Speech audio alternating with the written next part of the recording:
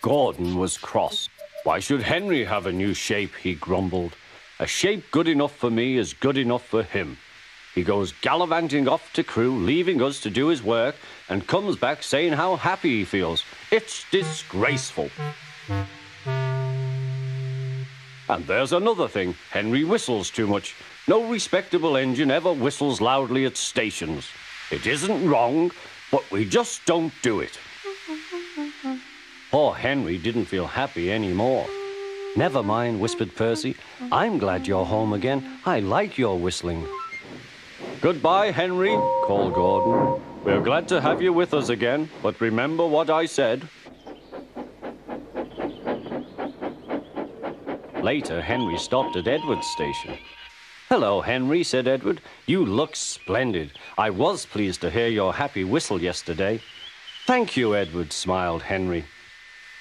Shh, shh. Can you hear something? It sounds like Gordon, said Edward, and it ought to be Gordon. But Gordon never whistles like that. It was Gordon. He came rushing down the hill at a tremendous rate. He didn't look at Henry and he didn't look at Edward. He screamed straight through the station and disappeared. Well, said Edward. It isn't wrong, chuckled Henry, but we just don't do it. And he told Edward what Gordon had said.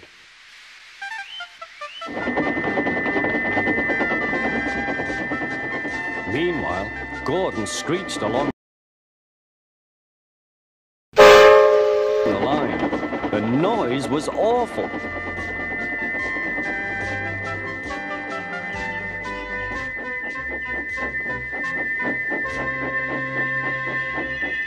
At the station, everyone held their ears. The Fat Controller held his ears too.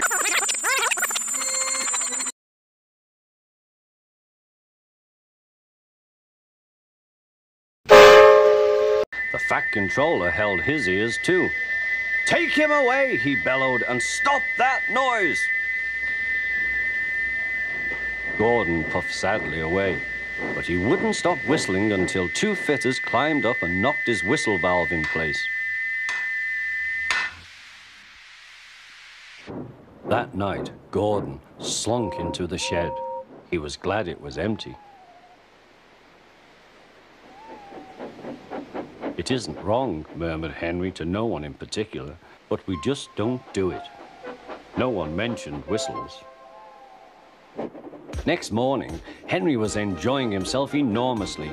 I feel so well, I feel so well, he sang. Trickety-trock, trickety-trock, hummed his coaches. Then he saw some boys on a bridge. Peep, peep, hello, he whistled.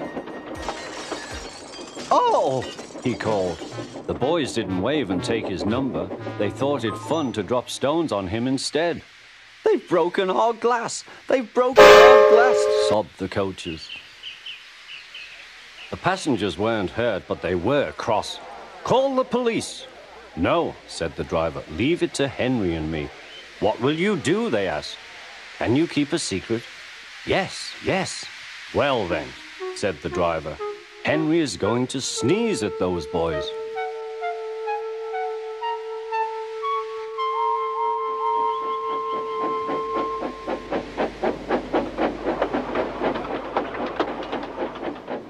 Lots of people were waiting at the station just before the bridge.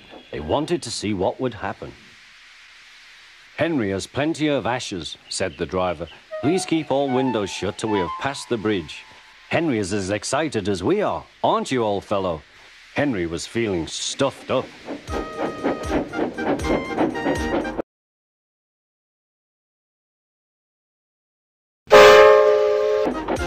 Soon they could see the boys, and they all had stones. Are you ready, Henry? said his driver. Sneeze hard when I tell you. Now, he said. Achoo!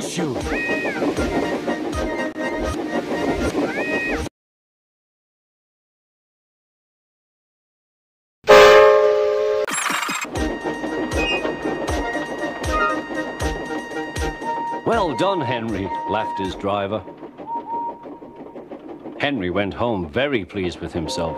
He had taught Gordon and silly boys a lesson with a whistle and a sneeze.